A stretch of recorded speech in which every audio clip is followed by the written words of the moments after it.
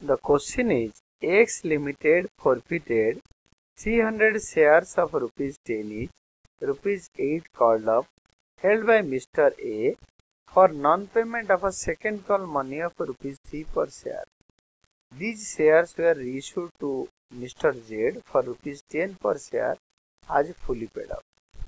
तो इसमें क्या होता है in the books of X limited question पढ़ लिया और वर्किंग नोट में हम लिखेंगे distribution of amount and number of instalment तीन लगा लो first application etcetera application allotment वगैरह वगैरह फ़र्स्ट कॉल मिला के पाँच रुपये क्योंकि बोला है, तीन रुपये का कॉल नहीं मिला और दो रुपये का फाइनल कॉल हुआ नहीं। तो वो हो गया पाँच, मिल गया पाँच, नहीं मिला। सेकेंड कॉल तीन रुपये तीन सौ हज़ार रुपये और फाइनल कॉल हुआ नहीं, दो रुपये टोटल हो गया दस रुपये और नंबर ऑफ़ शेयर्स फॉरफिटेड तीन सौ शेयर है।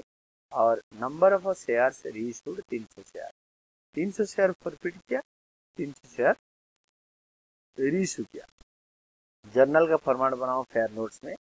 Journal entry X limited proper format पहला entry share capital account debited तीन सौ इंटू आठ called up twenty eight hundred twenty four hundred to forfeited share account पाँच रुपये फॉरफिट किया, तीन सौ इंटू पाँच, पंद्रह सौ।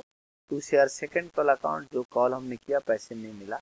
पाँच सौ दैट इज़ तीन सौ इंटू तीन नौ सौ being three hundred share forfeited due to non payment of second call money of rupees three per share तीन सौ इंटू तीन नौ सौ और नेक्स्ट इसका होगा री इशू ये शेयर को दस रुपये में बेच डाला।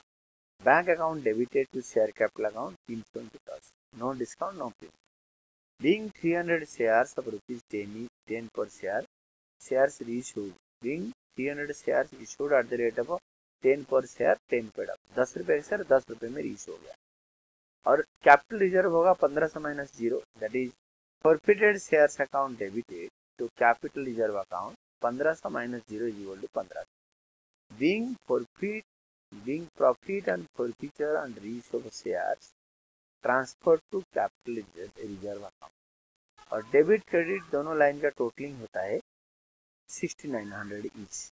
And this is the final answer आप लोगों के लिए ये दोनों जर्नल को हमेशा टोटल करना होगा।